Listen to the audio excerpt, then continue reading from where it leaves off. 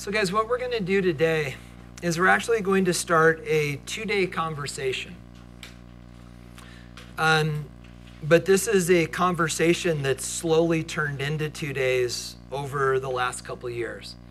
Um, so what you're going to find is that when I originally pulled this material together, um, I used to teach all of this material in one day, which you're going to quickly appreciate was somewhat inappropriate.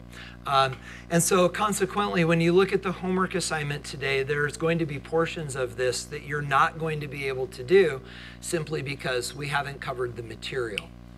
Um, so the way that today is going to unfold is we are going to talk about what's the big idea um, and this is actually how we're going to wrap up chapter 5, which means soon we'll be in chapter 19, which is why you have the chapter 19 outline due on Wednesday so that you're prepared for Friday. Um, but, guys, what we're going to do to wrap up chapter um, 5 is we're going to answer a question. And what you're going to find out is that question actually has three different answers, or perhaps three different paths to get to the same answer. And so, what I'm going to do today is I'm going to lay out for you the question. Then we're going to talk about that question conceptually. And this is going to sound familiar because it's how we ended class last time.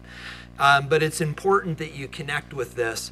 And guys, I think that you're starting to appreciate the idea that this is probably a little more in depth than perhaps you're giving it the benefit of being. Um, when we all of a sudden start talking about heat and enthalpy, and all of a sudden signs matter and context is important. And I, I think I think we're maybe not pushing this as deeply as we can. Um, I think part of the reason for that is because um, I, I, think we're starting to get a separation in the class. Um, this is common. Um, but typically, what I see is that typically about the middle of this unit, we have some people that are starting to think this is really interesting and I'm finding this compelling and I want to keep going and I want to dig deeper. And then I see other people that start to think to themselves, I'm really not sure what's going on in here anymore, and this doesn't feel good. I'm not really willing to work, do the work to get on top of this. I just know it doesn't feel good. And it's interesting because you kind of get this fight or flight syndrome thing going on. And what I'm seeing in some of you is you're getting giggly, you're getting twitchy, you're getting distracted. And guys, quickly what you're going to find out is that just isn't going to work because my goal, my job in this room is to not convince you to care. It's not to convince you to work. It's not to convince you to get engaged. My very challenging job, guys, is to teach you the hardest stuff that you've ever learned in your life. And guys, understand that if you're starting to have that response that says, I'm going other directions, because understand, I have no room in my day or my hour or my life to try to get you to care. Um, frankly, the fact that I've already had to move a couple of you and am considering having to do that with others, guys, that's, that's junior high school crap. That's not what college looks like. It's not my job to make you want to care. It's not my job to keep you engaged. It's my job to work my butt off to try to help you be successful. So, with that said, guys, what we're going to do is we're going to lay out this concept. We're going to come back to it. Once we've wrapped our arms around the concept, we're going to talk about the three avenues through which we can approach this interesting question. And we're going to talk about the experimental, empirical way of approaching this today. Then, when we come back on Wednesday, we're going to look at the two computational ways of approaching the question. And that will be our conclusion of chapter uh, five. And we'll jump into chapter chapter 19 next time. So, guys, the question then becomes what is the question that we're trying to address? And it's this. Um, you may remember this because it's actually where we, we didn't directly get to it, but we did talk about the chemistry we talked about the idea of thermochemical equations.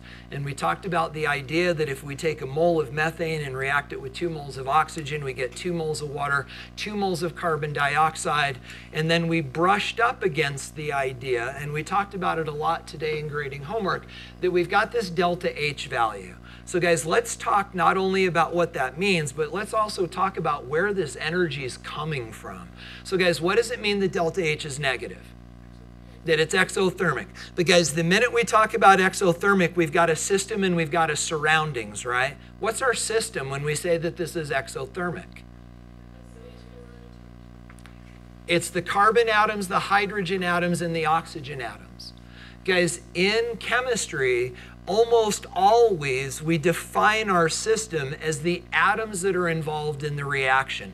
So we've got our one carbon, our four hydrogens, our four oxygens, and these are our guys, and they go in and they come out. And when they come out, as Ari got us thinking, they come out with about 900 kilojoules less energy than they went in with. Because there's a lot of energy that comes out of this reaction.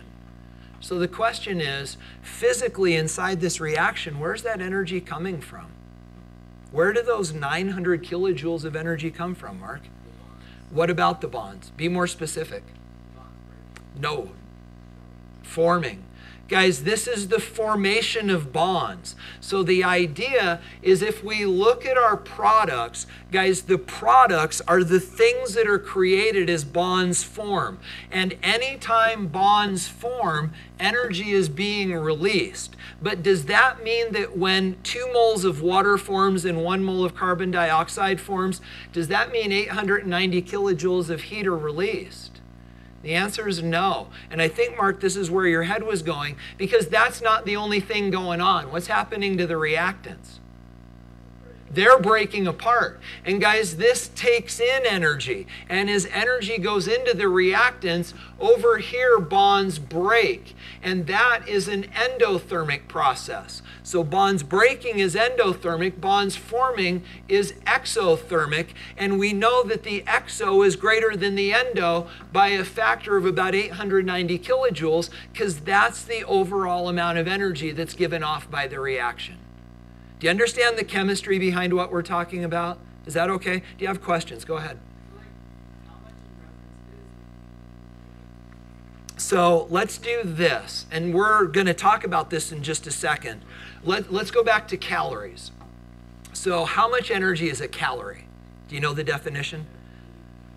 One gram of water, one degree Celsius. So can you picture a milliliter of water, those silly little yellow cubes that I've had in class? So that's a milliliter of water. If you put a calorie of energy into a milliliter of water, its temperature goes up a degree Celsius. It's not very much energy. calories that we think about, those are kilocalories. So a, a food calories, a thousand of them. But Let's try this. So 4.18 joules is a calorie. So a joule is about a fourth of a calorie. Does that make sense? So four, approximately four joules is one calorie. So joules are even smaller than calories, which isn't much energy to begin with. So now let's talk about kilocalories. Okay, so the idea here is if 4.18 joules is a calorie, then a kilocalorie would be a thousand joules, right? Um, so that would be about, I'm using round numbers, about 250 little calories. Do you see how I did that? So if four, if four joules is a calorie, then a kilojoule would be about 250 calories, but that would be a quarter of a dietary calorie. See what I'm saying? So it's it's not not very much energy, but it is our unit of energy. Is that okay? Did, and we're going to get into the, those sort of those ideas in just a minute. So guys, other questions? Go ahead, Jeanette.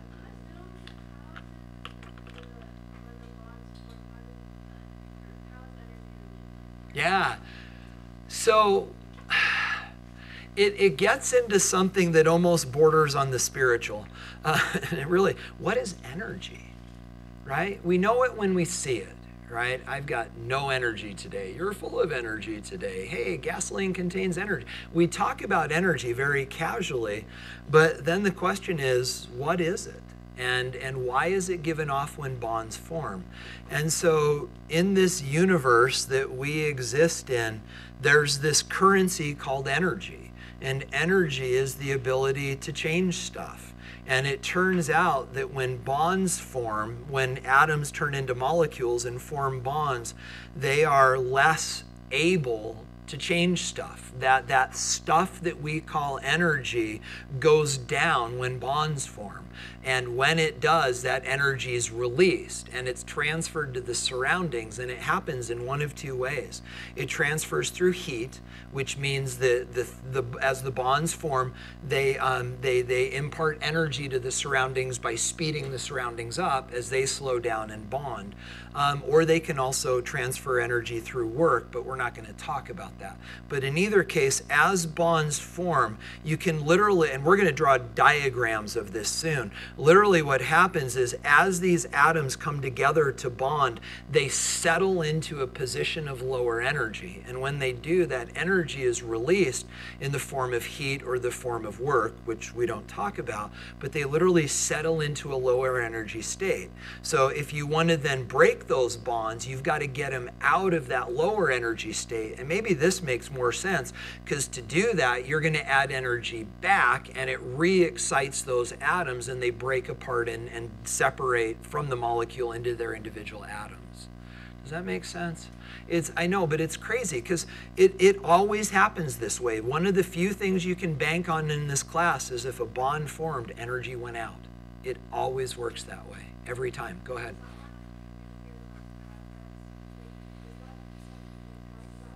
It has nothing to do with this. And I know that last year I sort of misrepresented that and said, but maybe you caught this, that when nuclear processes happen, we say that's the breaking of the strong nuclear force. No, it's not.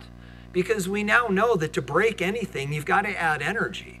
And so, actually, the breaking of the strong nuclear force is endothermic the energy that's given off, like in a nuclear power plant, is actually the conversion of mass to energy in Einstein's E equals mc squared thing. So it's completely unrelated to this. Yeah, no. Go ahead, Elisha. Oh, gosh. No, no, yeah. Is this going to come back and bite you in the butt later? No. So, guys, Elisha's getting nervous because he's going, wait, is work just something we're ignoring now and then you're going to come back and this is going to get crazy later? And the answer is no. Um, perhaps, depending on where you end up, maybe your sophomore or junior year in college, if you become a chemistry major, will they bring work back in? Um, if you become an engineering major, it typically comes back your freshman year. Um, you'll, you'll start taking classes called statics and dynamics um, as a beginning engineering student. And typically at that point, uh, eh, or maybe not, it might even be thermo your sophomore year as an engineer, it'll come back. But for us, no, we, we don't talk about work. You won't need to. You guys okay? But that's a good point, Doug. Say that again. You do in physics, absolutely. Yeah, and the reason is because physics is more concerned about the macro rather than the micro. And on the macro scale, you can't ignore it um, because it's, it's a present thing. So, you guys good on the idea? Okay, you may want to write this down. Guys, you know that I function organizationally. And so the question that we're now going to ask and answer is this. Guys, how on earth do they know?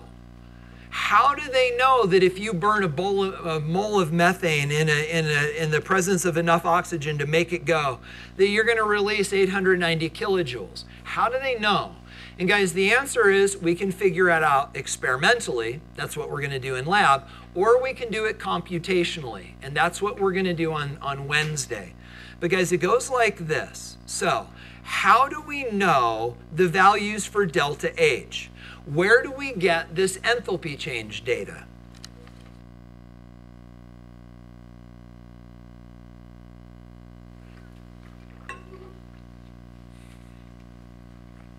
This is sort of the organizer for our next couple days. So, guys, how do we know this enthalpy change data? Well, one of the ways we can do this is empirically. You guys, do you remember what does empirical mean? Experimentally. That's called calorimetry. You can actually become a calorimetric chemist. That's a job, it's a thing. You can get your PhD in calorimetric chemistry. But, guys, there's another way that we can approach this. And I hope you find it as interesting as I do. Still not sure if you guys are interested in going into the sort of the interesting depths of material. I'm getting the sense that for some of you get there and then it's time to giggle. But um, guys, I look forward to digging into this with you on Wednesday because we're going to talk about what's called Hess's Law. And guys, Hess's Law is actually the math that allows us to figure out these delta H values without ever having to do an experiment. Now, it's actually based on other experiments and data we look up in tables. But, guys, we can handle this through what is called manipulation, or we can handle this through what is called computation.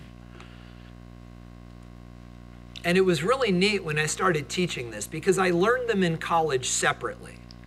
What I found out when I started teaching it is it's actually the same thing what you'll see on the AP test is they're going to lead you to solve these one way or the other. Given the data that they give you, they may ask you to do it through manipulation. They may ask you to do it through computation. So I'm going to show you the connections between the two, but what you're going to find on the AP test is it'll be clear, use one or use the other. So I'll teach you both. But at a little bit higher level, you're going to find out they're the same thing. So guys, what we're going to do today then is we're going to live right here we're going to talk empirically about how we come up with, with these values for delta H through a process called calorimetry. Bless you. Ready to go? Okay. So guys, in order to do this, we need to share a couple terms. For those of you that are in the lab, this is going to uh, bring some clarity to some things that were perhaps confusing. So guys, as you were digging through the pre-lab, you ran into this word, specific heat capacity.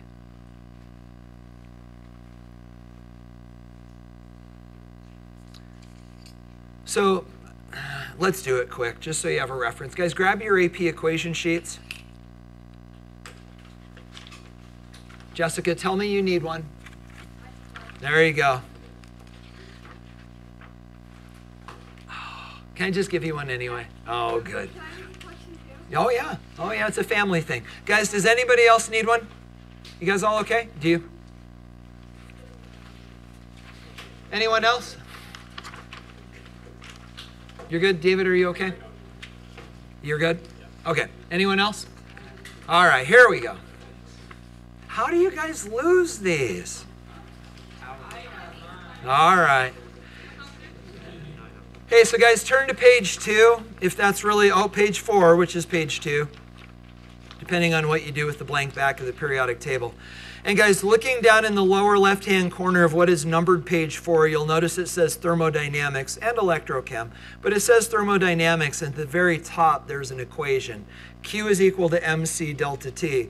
And then you'll notice off to the right, if you haven't picked up on this yet, they give you guys all of the definitions, if you will, for the, the variables. So Q is heat, M is mass, and C is specific heat capacity and then delta you know is change in T is temperature. But guys, they always give you the decoder key. So what we're going to do right now is we're going to talk about this thing called C, lowercase c, which is specific heat capacity. And guys, it goes like this. I would encourage you to write this stuff down. So guys, specific heat capacity is defined as the amount of energy needed to raise one gram of a substance's temperature one degree Celsius.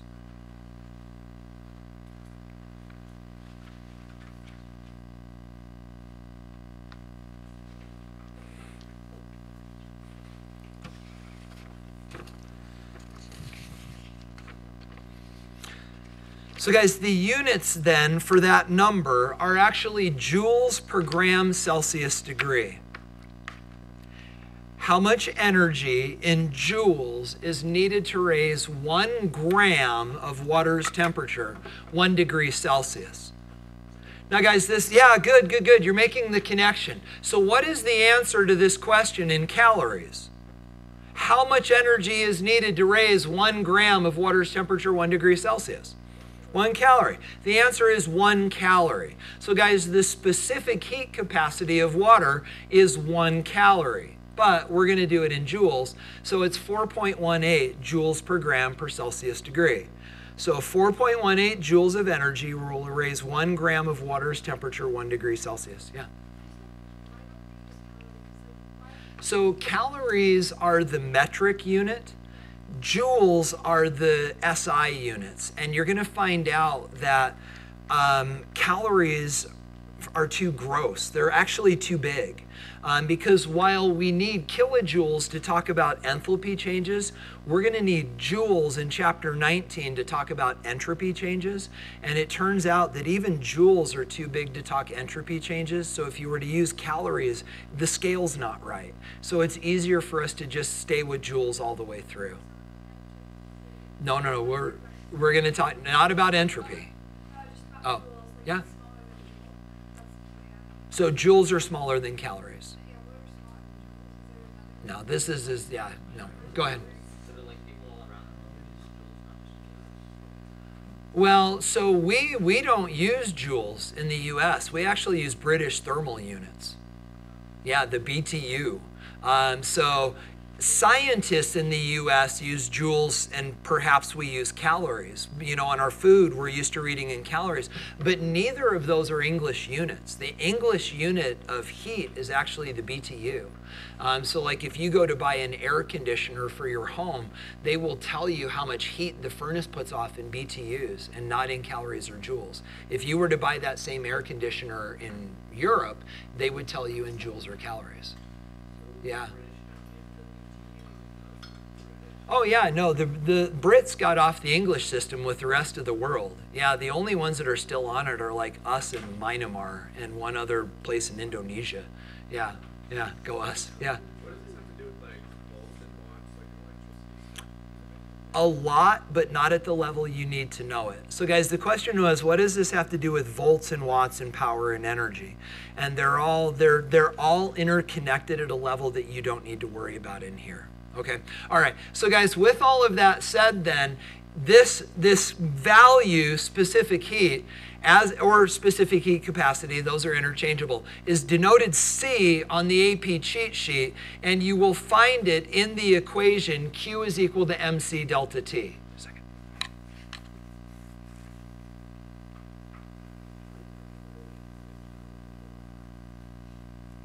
It's the same thing, but Mhm. right right go ahead simon I thought little c was already put to be important. Um, it is in the other setting, but here, and notice there's no confusion because the way it's on the AP cheat sheet, the AP equation sheet, it's it's given to us properly. But you're right, we also do use C for the speed of light, but you wouldn't get them confused because it clearly doesn't fit here. Is that okay? Okay, so guys, all of this then needs to be contrasted with this. And this is not just a word game, this is important there's another quantity that is called heat capacity. Not specific heat capacity, but heat capacity. Let me give you the definition and then we'll talk about the differences. Guys, heat capacity is the amount of energy needed to raise a system's temperature one degree Celsius.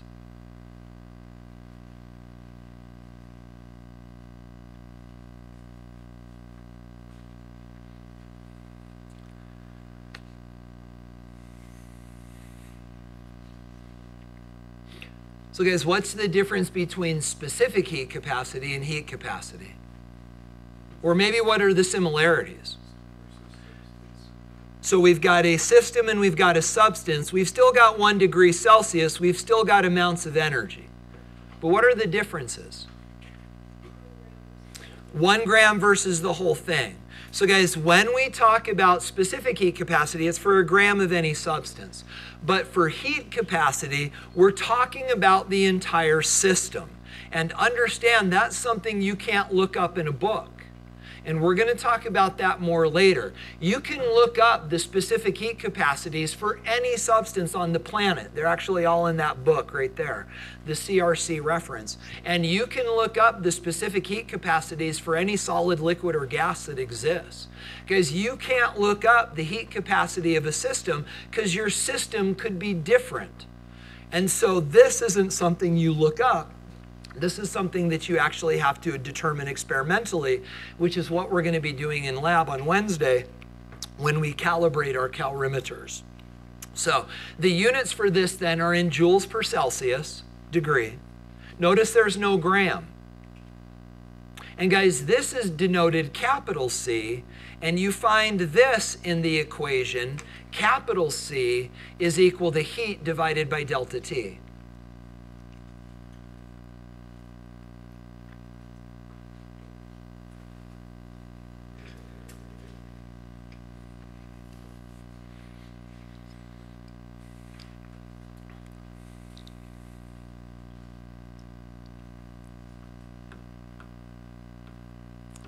So, guys, let's make sure we're making sense of this before we put this in context. So, here's what we know we know that specific heat capacity is the amount of energy needed to raise one gram of a substance's temperature one degree Celsius. Is that okay? Then, guys, heat capacity is the amount of energy needed to raise a system's temperature one degree Celsius. Notice the thing that's different is the amount. This only works for the system as identified. The other is whatever substance it is per gram. And we're going to leverage both of these um, as we get deeper into what we're going to do with this in class and in lab. Yeah.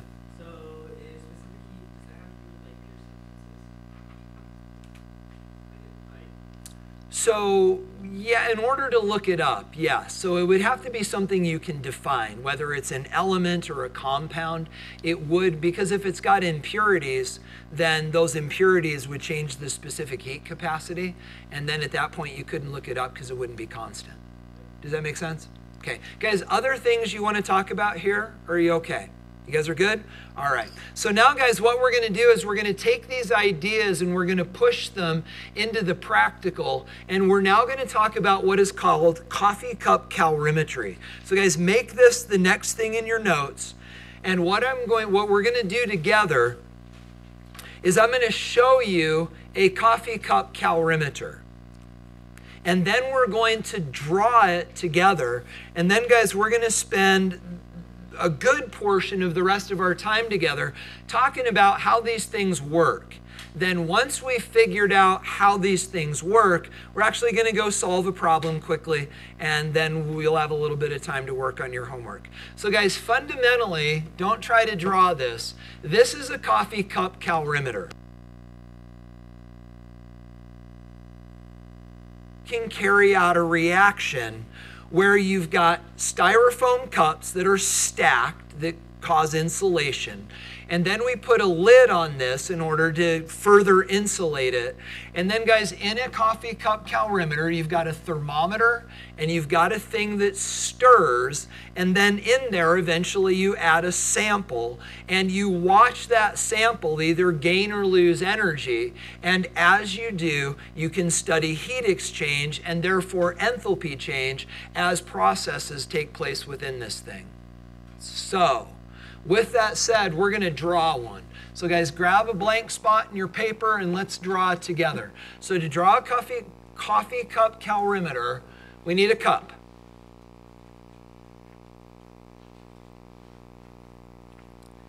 And then, guys, inside of our cup, we need some water. And then on top of our cup, we need a lid. And then inside of our calorimeter, we need two things. We need something that stirs, not much of an artist. And then, guys, we need a thermometer. That's so bad. Oh, apologies all around. I think I can do better than that.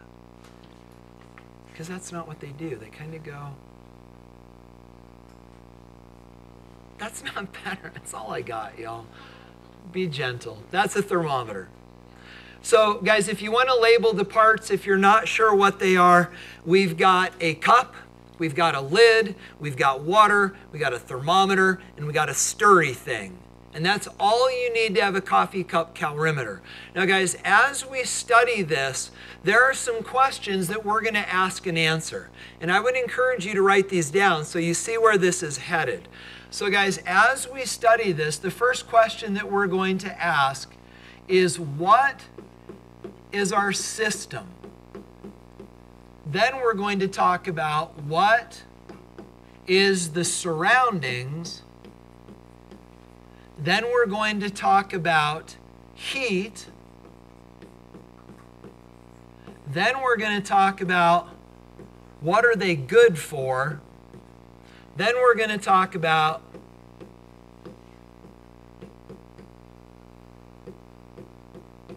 We're going to talk about how do they work. So, what is our system? What is our surroundings? What then does that tell us about heat? What are they good for and how do they work?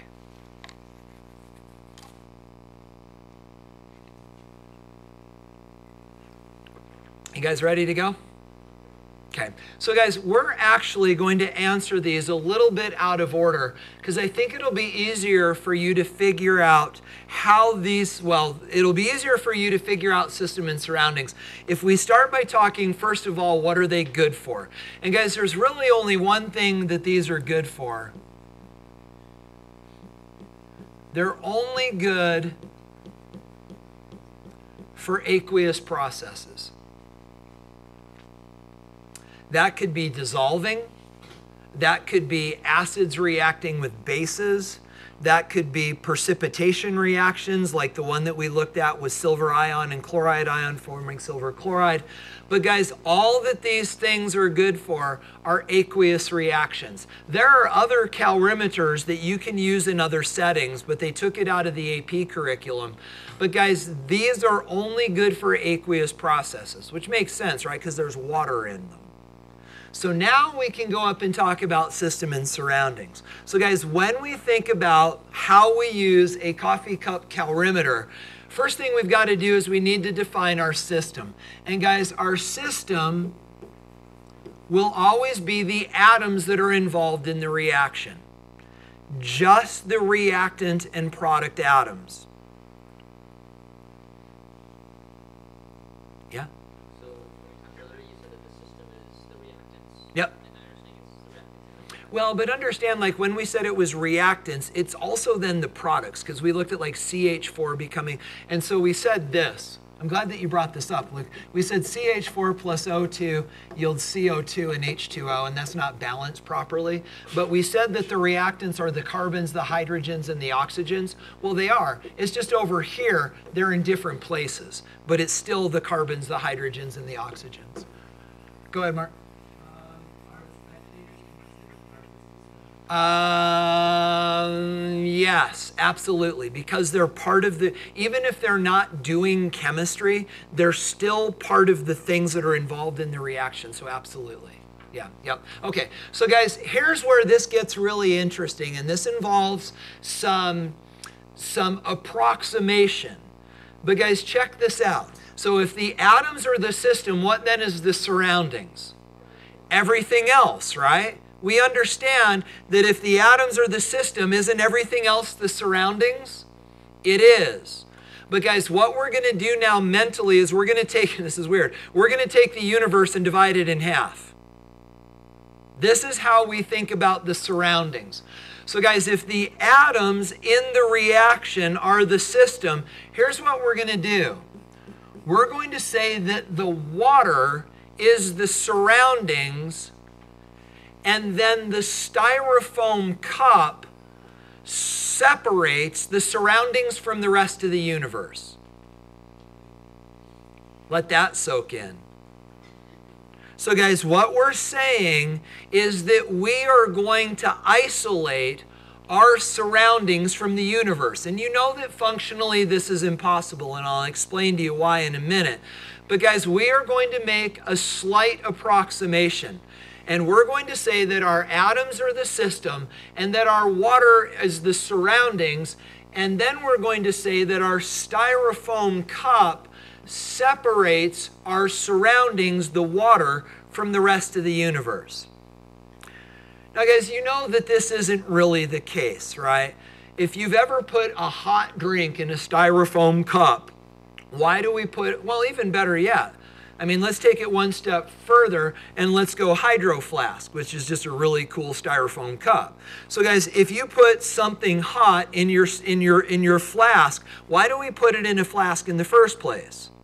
We're trying to separate it from the universe. We want this to stay warm, and this insulative thing does a pretty good job of that. But, guys, you also know if you come back in a day, what's the temperature of the drink inside going to be? The same as the room. Because, guys, we know that while a styrofoam or an insulated container slows down the exchange of heat, we're still going to get heat coming out of the container. So the styrofoam cup doesn't perfectly separate the water from the universe, but it at least slows stuff down to the point where we can collect data before the, all the energy is lost to the room. Does that make sense? Okay, so we're going to say then that our system is the atoms. We're going to say that our surroundings is our water. So, guys, this then becomes the question what's going on with heat? Heat is the exchange of energy, right? So, where will the energy go from and where will the energy go to?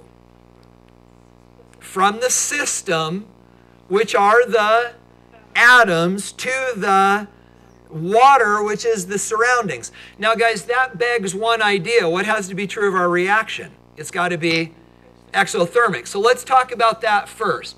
So, guys, if our reaction is exothermic, the energy will go from the reaction into the water. How do we know that's what's happening? What will we experience? The temperature of the water goes up. Now, guys, this is a weird thought. Let's think about this. So, if the delta H for the reaction is negative, and you might want to write this down with me. Guys, if the delta H of the reaction is negative, is that endo or exothermic? Exothermic. This is giving off heat.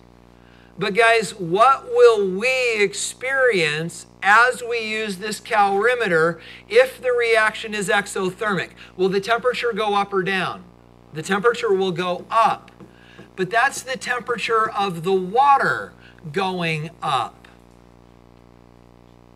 And guys, understand that's not counterintuitive. The reaction is losing energy. Where does the energy go? Into the water. What happens to then the temperature of the water? It goes up. And so, guys, the idea is we are actually tracking the change of the surroundings, the water, and in a minute we're going to use that to imply what's going on with the system. Does that make sense?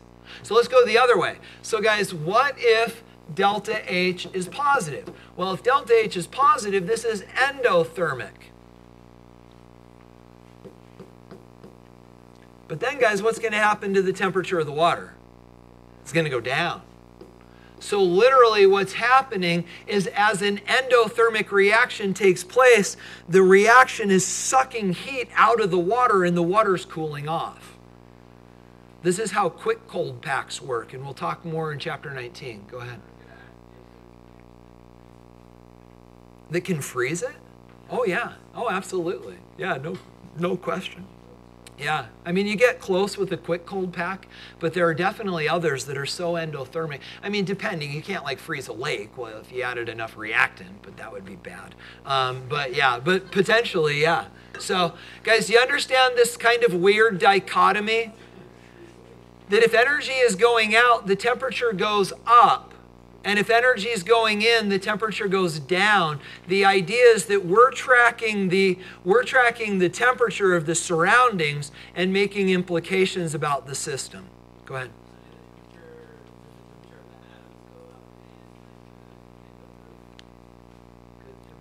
Yes, yes, absolutely. So no, but in, in a sense, but we don't directly touch them. We touch the water, and then we can figure out what's happening to the atoms. Yeah, definitely. Just a second, Jessica. Go ahead. You don't. And that's actually an interesting point. And what you're going to see when these did you under, did you hear Susanna's question? It's a really good question. She's like, how do you only touch the water and not touch the system, the atoms, right? And so there, there's a couple things going on. One is we understand, and let me just draw this crudely. Um, say that this is our system. Those are our atoms. So we understand that energy, and they'd be spread out throughout the throughout the water. So as energy goes out, um, eventually, say it's exothermic, as energy goes out, quickly the atoms in the system and the water come to the same temperature. And when that happens, we can then take the temperature of the water, and we're also taking the temperature of the atoms, but because they're the same, and because what we're looking at is temperature, I didn't write down the equation. Q is equal to mc delta T. Because what we're looking at is temperature change, it doesn't really matter what we're taking the temperature of, because we'll take the temperature of the water initially by itself, then we'll take the temperature later, and it is technically of the water and the system, but because they're the same, we get the same change. Does that make sense? Go ahead, Mark. You're okay? Oh, Jessica, sorry. Yeah?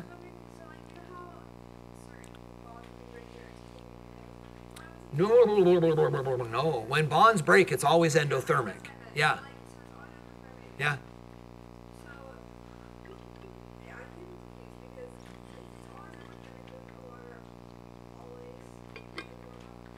No, because the water is not necessarily a reactant in these. So we could be looking at an acid base reaction.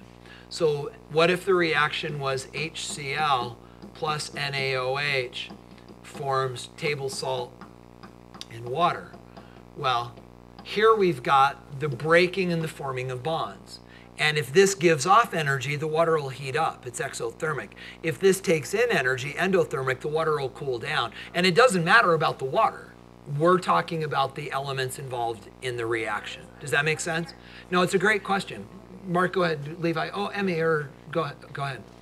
Yeah.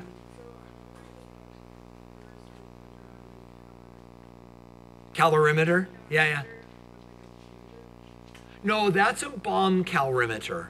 And that's the part we don't need. So that is what is called a constant volume calorimeter. The slang is a bomb calorimeter. And they took bomb calorimetry out of the AP curriculum, so we're going to skip it. Yeah, so we're not going to do bomb calorimetry. So guys, let me let me turn this back to our last question then. Because the last question that we need to ask and answer is how does this work? And fundamentally the idea is this, and maybe you want to write it down this way. So we've got a reaction. That's our system. And this reaction is exchanging heat with the water. Again, if it's exothermic, it is losing heat to the water, losing energy through heat to the water. If it's endothermic, it is taking in energy through heat from the water. But in either case, we're going to say this that the heat gained or lost by the reaction is equal to the heat lost or gained by the water. See how I said that carefully?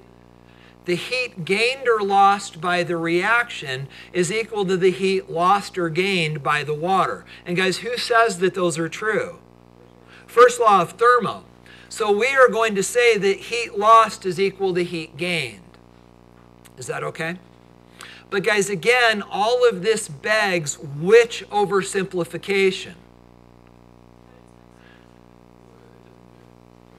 Exactly, that we're not losing energy out into the room through the styrofoam. So, assuming that that's not the case, we can say that these are equal, that heat lost is equal to heat gained. Now, guys, remember, we can do this, right? we have a way of quantifying the amount of energy that water gains or loses through heat. And we do that by replacing this with mc delta T. So we can't measure heat, but we can measure mass and we can measure temperature change and we can look up the specific heat of water. It's 4.18. And by being able to do this math, we can then calculate the amount of energy that a reaction gained or lost. Do you see how that all fits together? Go ahead. So if you have like something in the water, it's like dissolved, you're trying to find like the heat capacity of it, then you only like it doesn't matter about its specific heat, like you only need to know water specific heat. That's correct. And so, and this was the part that I started to talk about, Susanna, and didn't get all the way to the finish. When you see these questions on the AP test, there will actually be a blurb in parentheses that says, assume that the specific heat of the solution is equal to the specific heat of water.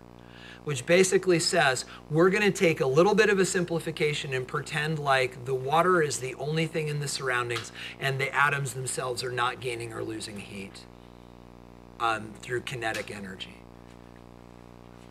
So we're going to make that oversimplification. Go ahead, Levi. So if you use MC delta T. Yeah. and P, Yep. you need to use delta H. Well, and that's the thing that's interesting. Great question. Because then what's going to happen is this is equal to the delta H of the reaction. So heat lost is heat gained, but we're saying that this reaction can't do work. And if this reaction can't do work, then heat is equal to delta H. So when we calculate the amount of heat that, say, the water gained, so it was exothermic, when we calculate the amount of water or the amount of heat that the water gained, that is equal to the amount of heat that the reaction lost, which is the same as delta H because the reaction can't do work. Does that make sense? And that's exactly where we're headed with this. So, guys, let's do this together. I don't want you to try to do this on your own. This is everything we just talked about. We're going to solve this to wrap up the day.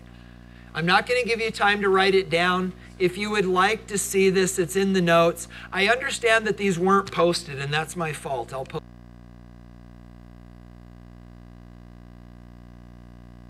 Five gram sample of solid sodium hydroxide and you dissolve it into a calorimeter with 100 grams of water. And the temperature goes from 23.9 degrees to 32 degrees. Calculate delta H. And Levi, this is where we get to your question.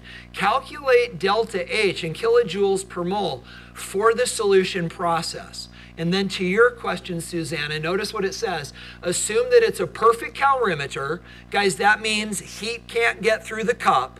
Assume that it's a perfect calorimeter and that the specific heat of the solution is the same of that for pure water. So, guys, let's draw a picture. Do this with me. Let's not use green. So, here's what we got we got our calorimeter, we've got our water, we've got our lid, we've got our thermometer. I give up on trying to draw it. And, guys, what we've got here is 100 grams of water in our calorimeter. What we're going to do is we are going to dunk a 3.25 gram chunk of sodium hydroxide into the water. And when we do, it dissolves. And as it dissolves, does energy go in or out? Let's say it again. Does energy go in or out? What's the answer? Yes. Energy goes in, the energy in is equal to the energy out. You can't answer the question. So let's do this. Does energy go in or out of the system? Well, let's look.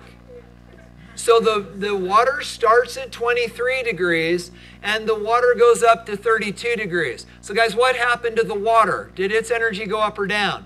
Its energy went up. So, what happened to the energy of the system? Went down. So, this is exothermic. So, guys, the question then becomes if that's true, what is, and this is what Levi insightfully got us thinking about, what's delta H? Well, guys, the first thing, yeah, it's negative, but the first thing we need to do is let's calculate how much heat the water gained. So, guys, to do that, we go Q is equal to mc delta T. Now, guys, be careful. What is the mass? 100 grams? 3.25 grams? 103.25 grams? What's the mass? What is absorbing the heat? The water. This is the mass only of the water. Then we need to know the specific heat of water. It's 4.18 joules per gram per Celsius degree. Then, guys, our delta T would be 32. minus 23.9, which I should be able to do in my head, uh, 8.1 degrees Celsius. So now, guys, we do the math 100 times 4.18 times 8.1, two significant digits. I get 3,400 joules.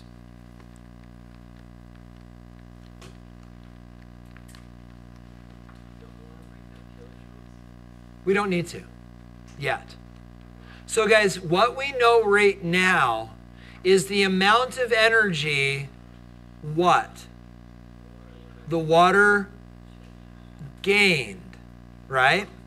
So, does this need a sign? And the answer is not yet. Because, guys, what we know right now is the water gained this much energy. But we're not done because the question is asking us to figure out this in kilojoules per mole of sodium hydroxide. So now we have another calculation to make. And guys, I think I can make it fit right here. So what we're going to do now is we are going to figure out how many kilojoules a mole of sodium hydroxide dissolving can evolve. David, am I too low? Can you see okay? Am I okay? So, guys, let's set this up. Where did these 3,400 joules come from? The sodium hydroxide dissolving. So, guys, we know we've got a related quantity here 3,400 joules. But, guys, where did the 3,400 joules come from? Dissolving how much sodium hydroxide? 3.25 grams.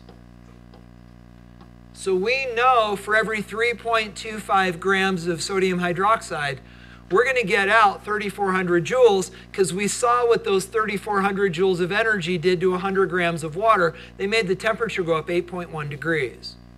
Now we need to do some math. And Mark, here's where we need to convert because we need to convert joules to kilojoules. So 1,000 joules is one kilojoule.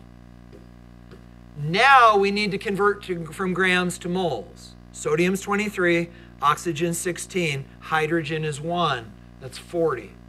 So 40 grams of NaOH is 1 mole of NaOH. Now we can do this math. And we get 3,400 divided by 3.25 divided by 1,000 times 40 and two significant digits, I get 42. Kilojoules per mole of sodium hydroxide. But, guys, you ready for a sobering realization?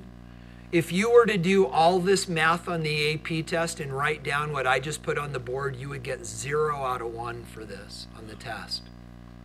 Why? What's that? We did. I mean, we wrote down our equation, we set it up. There is no equation for dimensional analysis. Why?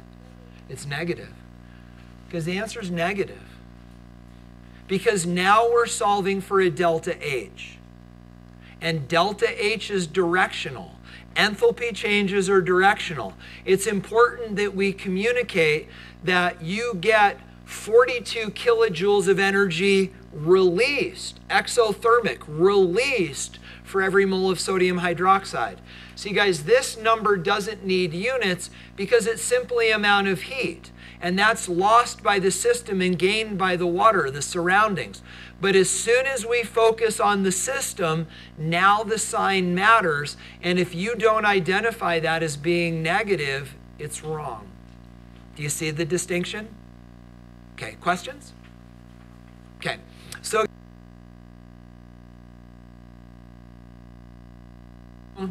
um, guys, here then uh, is your homework. And then also chapter 19 summaries in the same format as chapter 5 are due on Wednesday. Then, guys, on Wednesday, we're going to dig into the computational side of calorimetry. And then, guys, on Friday, the fun and exciting world of chapter 19.